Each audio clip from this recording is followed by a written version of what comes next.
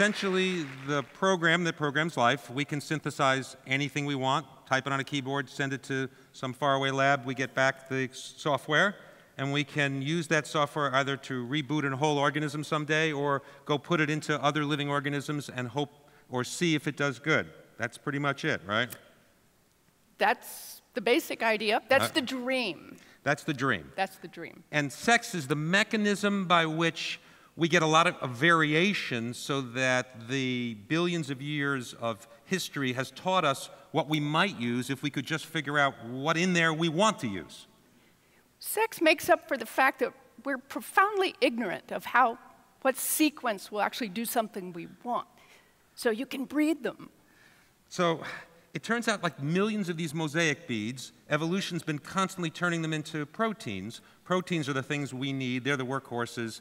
The question is, how many people are looking for proteins that can help and change the world we live in? Is there hundreds of you, thousands of you, hundreds of thousands of you?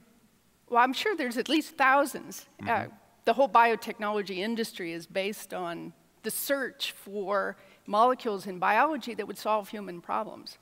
So, and bacteria, secrets to teach us, plants, secrets to teach us. So we've got the entire kingdom of things to teach us.